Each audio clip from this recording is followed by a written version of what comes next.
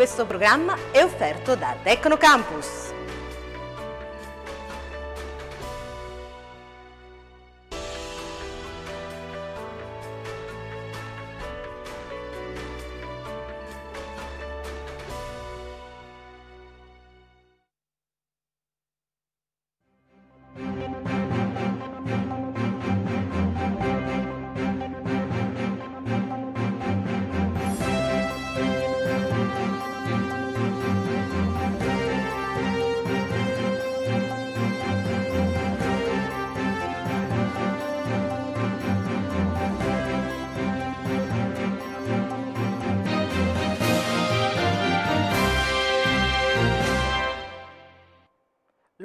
13 maggio, buongiorno da Teleprima, benvenuti come sempre alla quotidiana rassegna stampa, anche oggi offerta da Tecnocampus.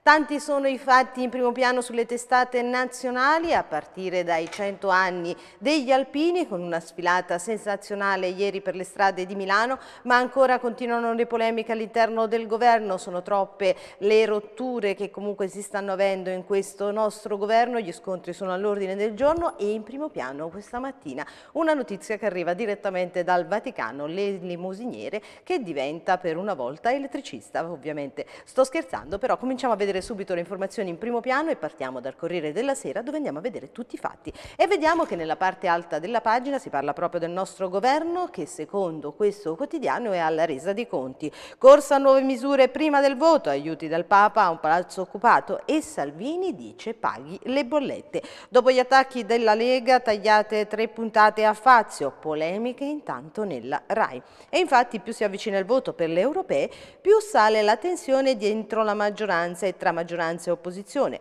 Nel governo sembra arrivata la resa dei conti e c'è una data precisa, lunedì 20 maggio si tratta del giorno concordato giovedì, ma non ancora definitivo del prossimo Consiglio dei Ministri, l'unico e l'ultimo prima delle europee. Ieri sera Fabio Fazio ha annunciato in diretta che la RAI ha deciso di tagliare tre puntate del suo programma del lunedì e sempre ieri è salita di tono la polemica per l'elemosiniere di Papa Francesco che a Roma ha acceso la luce a un palazzo occupato e Salvini giustamente prontamente risponde adesso paghi anche le bollette arretrate. E ancora vediamo le altre notizie, vediamo infatti che cosa risponde l'elemosiniere del Papa, Krajewski, il cardinale dice l'ho fatto per i bambini, il cardinale nel pozzo, l'inviato del Papa riattiva la luce nelle case occupate, l'ho fatto per i bambini e dice sono assolutamente assolutamente pronto a pagare. Insomma, non è sicuramente un gesto che è passato inosservato e ovviamente la risposta si è fatta subito sentire. La dialettica si riapre e soprattutto la polemica adesso si sposta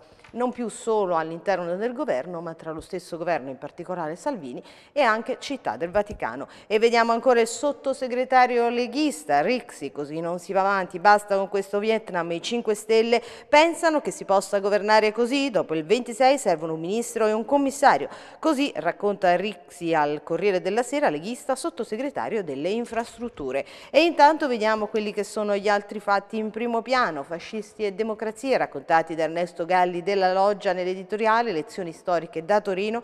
E infatti l'attacco del pezzo dice proprio così, è noto che la dodicesima delle disposizioni transitorie e finali della nostra Costituzione vieta, vieta la ricostituzione sotto qualsiasi forma del disciolto partito fascista. Assai meno noto però è il secondo comma di quella disposizione. In esso si disponeva che a dispetto del riconoscimento della qualità di elettori a tutti i cittadini e capi responsabili del regime fascista, il diritto di voto e eleggibilità fossero negati, ma non per sempre.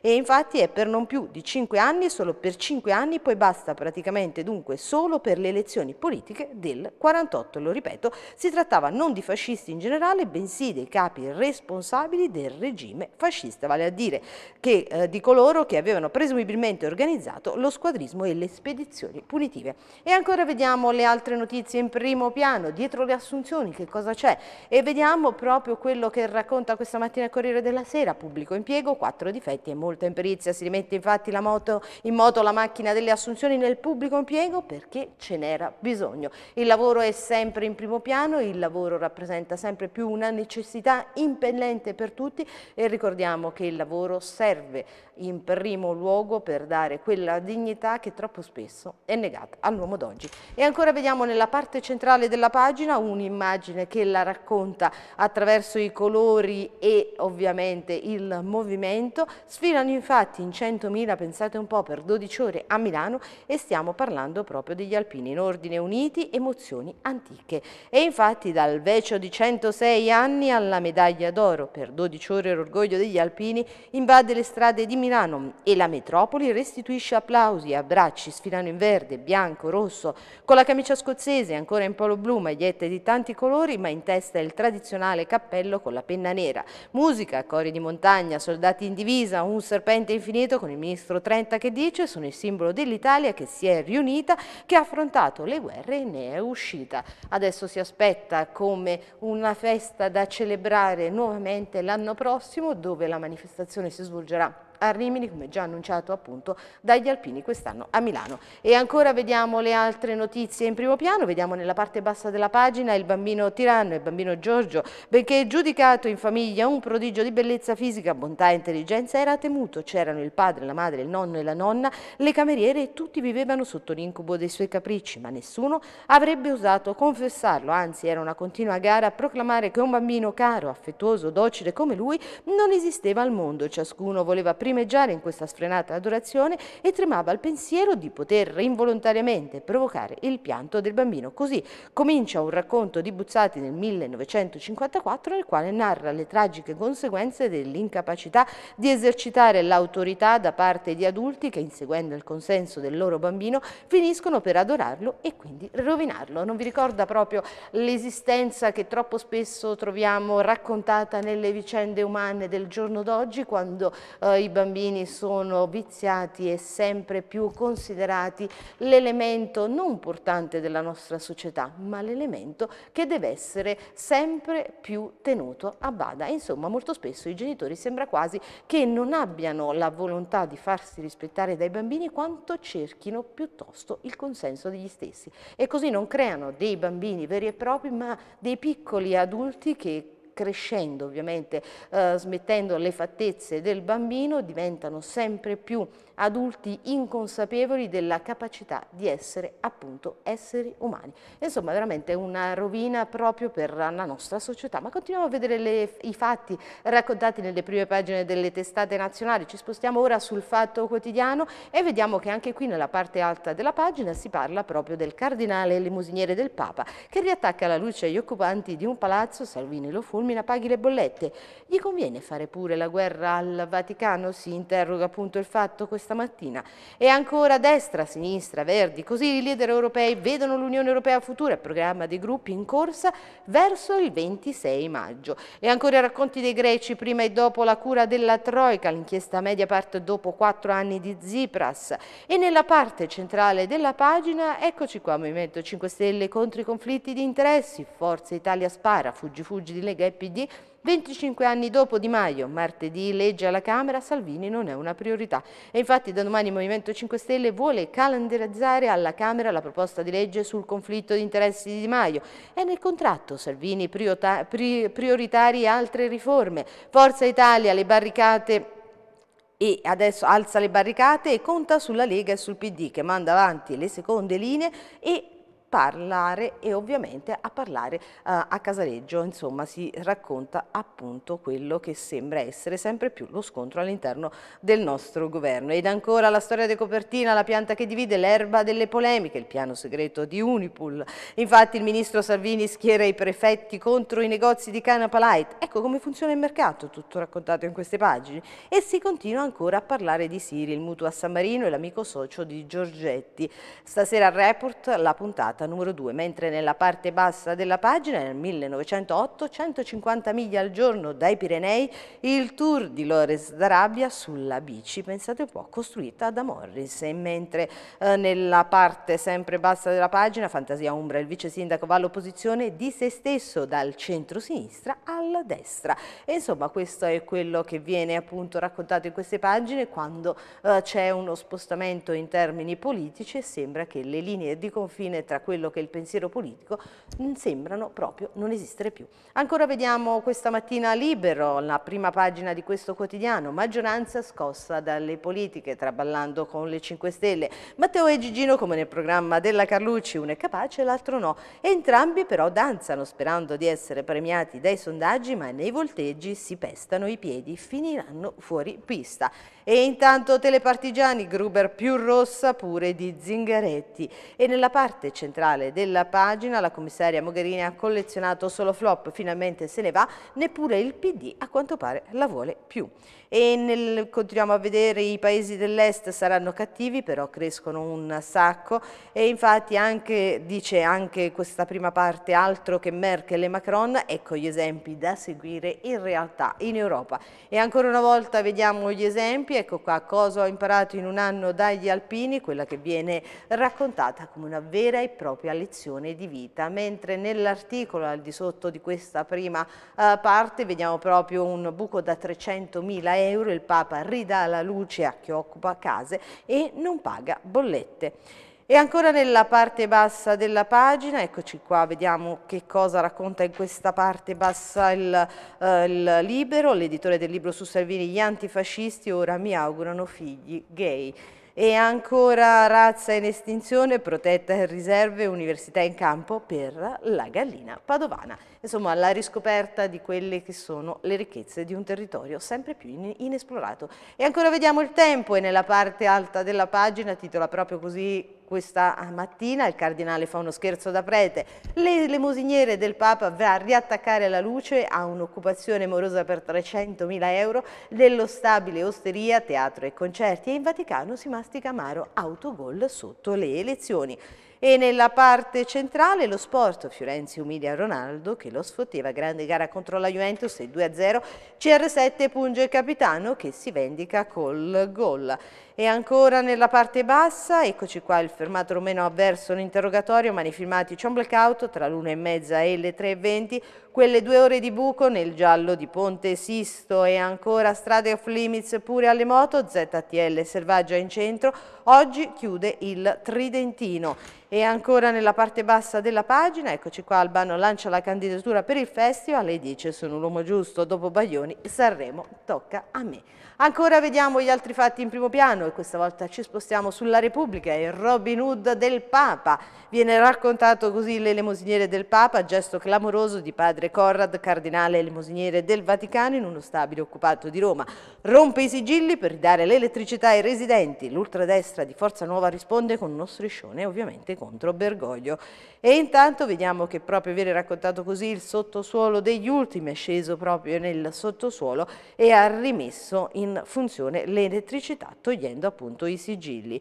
Ed ecco qua, a chi non piace Francesco, ovviamente eh, ci sono fattori politici. E ancora nella parte destra della pagina di contro vediamo Salvini, la bestia leghista che fabbrica il consenso, come funziona il team social di Salvini? Attaccato da Renzi, Facebook chiude 23 pagine di bugie e istigazioni all'odio. E infine il capitano contro tutti. E ancora vediamo le altre notizie in primo piano, l'Europa di domani non ha paura dell'altro, questa è l'inchiesta che viene fatta appunto da Repubblica e ancora una volta si parla delle tre puntate cancellate, punire Fazio il nemico della RAI sovranista.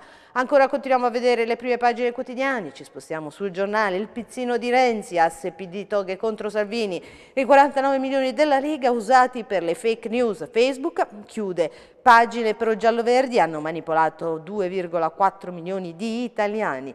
E ancora nell'editoriale di McLoce, mm, valori al rovescio, una repubblica fondata sugli anti, mentre il denaro come reato, una follia contro Berlusconi ricchi fuori dal Parlamento.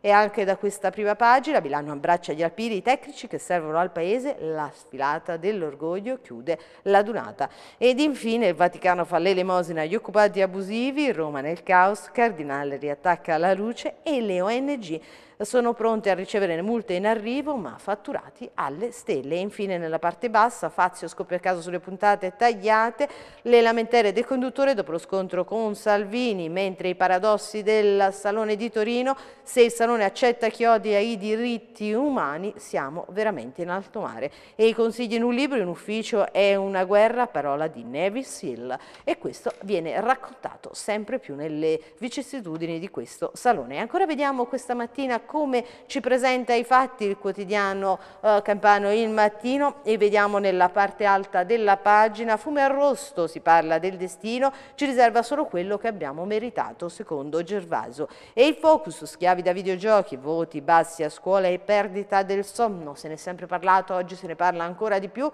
viene visto proprio come un elemento disturbante nella vita dei più giovani i, i giochi, i videogame, anche se molto spesso sono stati considerati proprio un mezzo importante di educazione e soprattutto di risveglio delle facoltà. Adesso invece sembrano generare un generale assopimento della mente. E il concerto Gilmore, la, Gilmore, la notte magica di Pompei, rivive su YouTube le chitarre all'asta, mentre nella parte centrale della pagina si parla di europei, patto 007 social contro chi inquina il voto. Fake news e odio sul web, Facebook e Google collaborano con i servizi italiani e USA, chiuse 23 pagine con 2,4 milioni di iscritti, la metà erano vicine a Lega e 5 Stelle. E ancora vediamo il cardinale nel pozzo per ridare la luce alla casa occupata, il blitz delle limosiniere del Papa, Salvini ora paghi le bollette arretrate.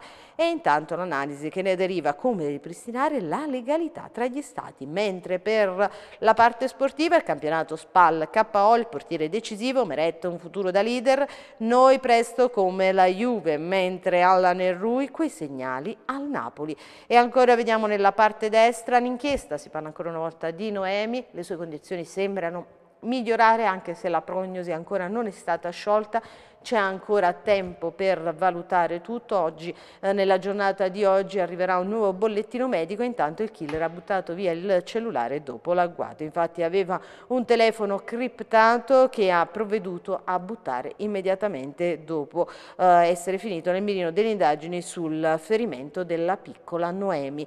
E questo quello che eh, al momento la Procura di eh, Napoli ha potuto ottenere eh, nei confronti di Armando Del Re, il 29enne venne accusato di aver sparato uh, in piazza nazionale. Lui si difende dicendo io non c'entro nulla. Intanto l'inchiesta archiviata, Diane, quattro anni di fango sull'icona dell'antimafia. E ancora vediamo sempre in questa prima pagina, nella parte bassa della pagina, oggi è la grande giornata uh, per quanto riguarda il via verso uh, gli ultimi giorni delle vele Scampiano Nego Morra. Oggi parte appunto l'abbattimento, vediamo proprio l'immagine di questa struttura, ma soprattutto no a Gomorra. Ancora vediamo gli altri fatti in primo piano, sempre nelle testate nazionali, la stampa di Torino, la sfida del pontefice, luce al palazzo occupato da migranti e diseredati.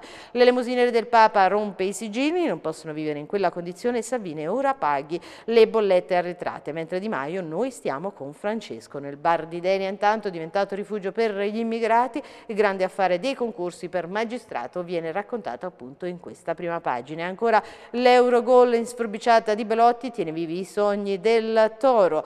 E ancora vediamo nella parte bassa, sempre per quanto riguarda lo sport, Formula 1 in Spagna, quinta doppietta Mercedes, vince Hamilton, la Ferrari ora è un caso, mentre il mito compie 80 anni, Berruti, l'Italia d'oro anni 60 che accoglieva tutti. E continuiamo proprio sul filone dello sport, vediamo il Corriere dello Sport questa mattina come annuncia le prime eh, notizie di oggi, presidenti da Palermo a Firenze e a Roma, la saga della delusione, ci vuole passione. Esaurita la fase dell'entusiasmo, molti proprietari si ritrovano impreparati nell'affrontare crisi e contestazioni, l'analisi di un fenomeno tutto italiano, mentre nella parte centrale aggrappatissimi. Ed ecco qua vediamo proprio un'immagine più che eloquente, la Roma batte la Juve 2-0, prende il Milan e resta in corsa Champions, Fiorenzi risponde a CR7 che lo aveva deriso con il cucchiaio dell'1-0, Allegri imminente l'incontro con Agnelli. Tornate a vincere e sarà sarà, dice, sarà, tornare a vincere sarà molto più difficile. E intanto l'Empoli inguaglia sei squadre, la corsa salvezza che fa paura a tutti, classifica corta dopo i successi dei toscani e dell'Udinese, Cagliari e Viola tremano a 40 e infatti stasera c'è Bologna-Parma. Intanto Inter, rabbia Spalletti, ancora continuiamo a vedere le pagine eh, del quotidiani che raccontano lo sport e vediamo infatti Juve KO 2-0 negli ultimi minuti, Ronaldo nervoso e a secco, vede allontanarsi il trono del gol e riflette sul futuro. La Roma intanto spera ancora nella Champions e a quanto pare viene definito proprio il re triste. Ancora vediamo il Giro d'Italia oggi la terza tappa, Viviani Amaro il primo sprint che però finisce in beffa e sempre sul calcio, Inter Spalletti grida alle spie e schiaccia Conte. E anche per questa mattina per la prima parte della rassegna stampa è tutto, vi lascio adesso qualche attimo di pubblicità ma non temete, non andiamo via, ritorniamo subito dopo, quindi voi aspettateci e godetevi questi momenti di pubblicità.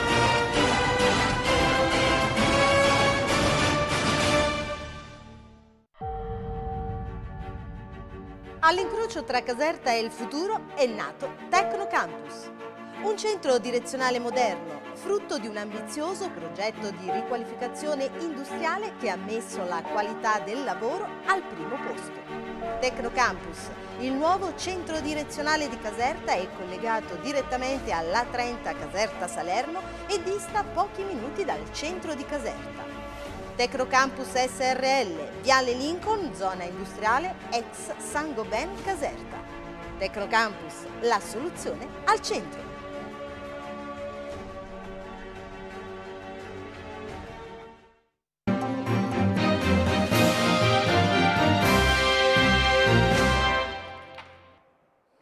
Bentornati in studio, continuiamo ora a sfogliare le pagine dei quotidiani, questa volta però andiamo ad esaminare quelli che sono i quotidiani locali e vediamo i fatti che ci riguardano più da vicino, quindi partiamo proprio con Napoli e le notizie che arrivano direttamente da Scampia dove parte infatti oggi l'abbattimento della Vela Verde, apre il cantiere Ruspe al lavoro per sei mesi. Oggi via libero per l'abbattimento e i comitati respirano e dicono finalmente. Dimenticate l'immagine di quella nuvola di fumo da cui riemerge quasi intatta affrontata la prima vela che doveva essere abbattuta. Correva il dicembre del 1997, più di 20 anni fa. Scampia non era ancora sinonimo di Gomorra, ma forse quel primo fallimento ha influenzato anche le lungaggini successive di un progetto che oggi entra nella sua fase finale. Altre vele sono state poi abbattute nel tempo, una del 2000 e una del 2003, ma il cantiere che apre oggi avvia un programma in cui è scritto anche il futuro dell'area completamente liberato quasi dall'elemento edilizio che ha maggiormente particolarmente caratterizzato in questi anni e così si apre appunto questo cantiere ed è una svolta proprio in termini per Napoli e la sua Scampia. Ancora vediamo i fatti in primo piano, continuiamo proprio a vedere che cosa viene da Napoli e vediamo sulla parte sportiva, scusate, la vittoria dei Gregari con Allan e Mario Rui e vediamo proprio questa immagine che segna un, appunto un gioco uh, che ha determinato la vittoria del Napoli a Ferrara contro la Spalla. E continua così la sua marcia verso gli 82 punti in classifica, obiettivo dichiarato di Carlo Ancelotti, ne mancano 6 Ma era fondamentale conquistare l'intera posta in palio al Paolo Mazza. Gli azzurri ci sono riusciti nel finale con il guizzo di Mario Rui, il sinistro del portoghese, significa il pareggio dei padroni di casa, realizzato sul rigore del Petagna al vantaggio eh, iniziale di Allan. Decisivo Meret si esalta eh, davanti al suo ex pubblico con una serie di parate decisive, lui infatti a blindare il successo della squadra di Ancelotti. Ancora continuiamo a vedere i fatti in primo piano proprio eh, che arrivano da Napoli, ci spostiamo passiamo dalla parte sportiva a quella che è quella, appunto la, la, parte di cronaca che riguarda ancora una volta Noemi, migliore inizia la riabilitazione, infatti sono buone notizie dal bollettino diramato all'ospedale Santo Bono, eh, questo nella giornata di ieri, le condizioni della piccola Noemi sono stabili in miglioramento, lo comunicano i medici dell'ospedale Santo Bono nell'ultimo bollettino diffuso sulla bimba di 4 anni ferita il 3 maggio in un agguato nel centro di Napoli. Noemi si legge nella nota diffusa dall'ospedale continua ad essere sedata e respira in autonomia con supporto di ossigeno. Già da ieri l'equipe di fisioterapisti ha avviato il programma per la riabilitazione, la prognosi permane riservata. Il prossimo bollettino appunto sarà annunciato nella giornata di oggi. Ed ancora vediamo quali sono i fatti in primo piano, si parla ancora di Noemi, questa volta per una manifestazione che si svolgerà oggi proprio in suo onore, lunedì torniamo a Piazza Nazionale per Noemi a parlarne. E appunto uh, Pasquale, vediamo infatti è ancora vivida l'immagine di centinaia di candele accese davanti ai cancelli dell'ospedale Santo Bono dove è ricoverata la piccola Noemi. Il giorno dopo la piccola si sarebbe risvegliata, un piccolo miracolo lo definisce Pasquale, uno dei fedeli della Madonna del dell'Arco che si è fatto promotore dell'iniziativa insieme alle altre associazioni. Senza alcuna distinzione di stemmi o associazioni, spiega infatti, abbiamo deciso tutti insieme di spegnere i cellulari e scendere in piazza per recuperare il vero senso della comunità. Non erano solo presenti associazioni napoletane ma di tutta la Campania, una comunità unita in preghiera. Speriamo che nessuno abbandoni la piazza perché sarebbe come sparare di nuovo contro Noemi, che è il cuore della città. Noemi è figlia di tutti noi, dice appunto uh, quest'uomo tutto napoletano. E ancora vediamo che anche nella giornata di ieri si è pregato tanto per uh, Noemi perché tanti sono vicini alla sua famiglia, ovviamente rivivono uh, questa vicenda proprio come se fosse accaduta a un figlio loro perché inevitabilmente quando un simile fatto fatto così grave colpisce un bambino, ci sentiamo tutti sempre più vicini. E ancora vediamo gli altri fatti in primo piano, si continua a parlare ancora sulle prime pagine appunto della vicenda di Noemi, questa volta però eh, nei confronti del killer. Bomba ferita a Napoli, fratelli killer buttarono via il cellulare dopo l'agguato. Vediamo l'immagine eh, di quello che è il presunto killer, aveva un telefono criptato che ha provveduto a buttare via appena capito di essere finito nel mirino delle indagini il sofferimento della piccola Noemi, fatto appena in tempo ad uscire dalla questura domenica 5 maggio, due giorni dopo gli spari di Piazza Nazionale, che ha dato inizio a un piano strategico finalizzato a darsi alla macchia e diventare invisibile. Questo è uno dei punti sostenuto dalla Procura di Napoli nei confronti di Armando Del Re, il 29enne delle case nuove in cella da venerdì scorso, con l'accusa di essere l'uomo nero, quello che ferisce a colpi di pistola il 31enne Salvatore Nurcaro, ma anche una bambina di soli 4 anni e soprattutto l'abbandona e ovviamente lascia tutti sgomenti. Ancora vediamo le altre notizie in primo piano, la festa all'Armatori di Napoli con Cafiero De Reao e De Magistris. Cala il sipario infatti definitivo sulla B con l'ultima giornata disputata tra le mura amiche. L'Amatori eh, Napoli Rugby saluta così il suo caloroso pubblico con la ventesima vittoria stagionale su 22 gare disputate e festeggia la memorabile impresa. Passa in secondo piano il successo per 23 a 15 sul Frascati Rugby Club 2015, tre le mete siglate da Giuliano Testa, Paolo Gisoni e Valerio Antonelli, due i piazzati di Vincenzo Gargano. Filarisce un incontro diretto in maniera impeccabile dal napoletano Massimo Salierno. Insomma, un fine settimana di sport, ovviamente di bello sport, ma continuiamo a vedere le notizie in primo piano e poi dopo ci renderemo conto anche del perché le altre eh, notizie sportive ci faranno esultare. Ancora vediamo cronaca, raid con l'estintore, l'ennesimo atto di sabotaggio all'ospedale del mare e infatti ignoti probabilmente nella notte notte tra sabato e domenica hanno scaricato un intero estintore nei corridoi e nei locali attigui all'emodinamica rischiando di produrre danni irreparabili a costosi macchinari. L'innesco del sistema antincendio che ha bloccato le porte di comunicazione con i riparti ha però evitato il peggio. Insomma, sembra che le situazioni che si stanno verificando in questo ospedale siano sempre peggiori e siano sempre più ad alto rischio proprio per i pazienti. Vorrei proprio dire a queste persone che sabotano eh, queste strutture, che non fanno sicuramente un bene a chi comunque già sta vivendo una situazione precaria. Fate attenzione perché con la vita non si scherza. E ancora vediamo gli annunci del meteo, ultima, settimana di passione prima del caldo, ci attende ancora pioggia negli ultimi giorni, la vediamo proprio ritratta in questa immagine, non ci fa certo piacere, però sicuramente ci si prospetta proprio un'ultima settimana per poi trasportarci direttamente in quella che sembra essere la calda e torrida estate. Se aspettate il sole del caldo, infatti, conviene che, che prendiate una sedia perché l'attesa durerà ancora un po'. Secondo gli esperti, infatti, quella che sta per iniziare sulla provincia di Caserta è una settimana ancora autunnale. Da lunedì a giovedì, infatti, sono previsti forti temporali con le temperature che resteranno comunque abbastanza alte, fino a 19 gradi di massima previsti per la giornata di oggi, ma il sole non sarà molto presente nelle nostre giornate. Per vedere un lieve miglioramento basterà basterà e bisognerà aspettare il prossimo weekend sperando che la pioggia decida finalmente di abbandonare la provincia. E noi ce lo auguriamo.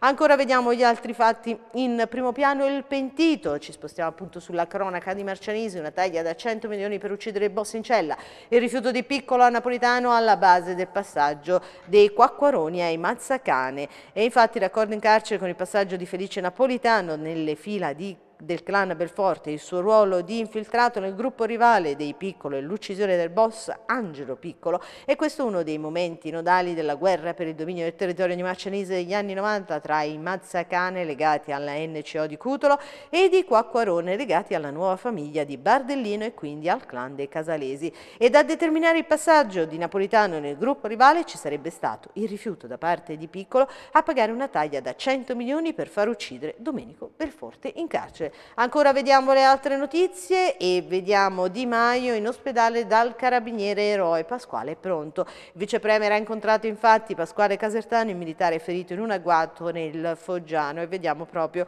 la foto di Di Maio con il giovane carabiniere. E infatti dopo il premier Conte anche il ministro dello sviluppo economico Luigi Di Maio, leader del Movimento 5 Stelle, è andato a visitare Pasquale Casertano, il carabiniere di Caserta che lo scorso 13 aprile è stato vittima di un agguato a Cagnano Fagnano Varano Foggia, assieme al collega Vincenzo Di Gennaro, maresciallo dell'Arma, che ha perso la vita nel raid compiuto da Giuseppe Papantuono. Pasquale è ancora in ospedale, ma le sue condizioni sono decisamente migliori, come rivelato dallo stesso Di Maio. Pasquale, grazie al cielo, sta bene, appunto detto Di Maio, ed è pronto a ripartire più determinato che mai. Questo è lo spirito dei nostri carabinieri e noi dobbiamo supportarli e sostenerli ogni giorno. Chi tocca un carabiniere tocca lo Stato.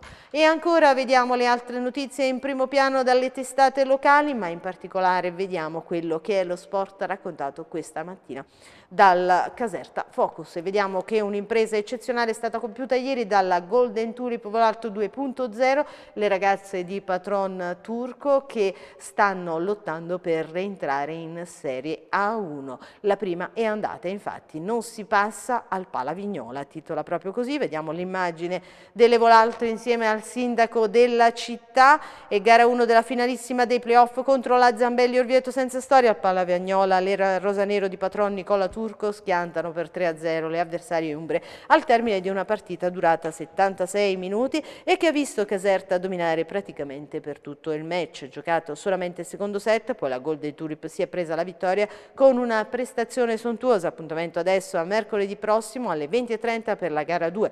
Caserta può già festeggiare, in caso di vittoria sarà Serie A1 e noi lo auguriamo a queste ragazze che stanno dando il meglio di sé e soprattutto stanno facendo vedere a Caserta lo sport come è in grado di fare squadra e soprattutto di aggregare tante, tante persone, soprattutto di questa nostra città, troppo spesso eh, raccontata come una città dove non c'è assolutamente nulla, ma noi non ci crediamo e andiamo oltre. E per quanto riguarda la rassegna stampa di oggi termina qui, eh, ringrazio tutti voi di essere stati con noi, di aver scelto Teleprima e soprattutto ringrazio Tecnocampus che come ogni giorno ci offre la possibilità di fare informazione insieme a voi. Vi auguro una splendida giornata e soprattutto soprattutto un buon inizio settimana e come sempre ci vediamo domani.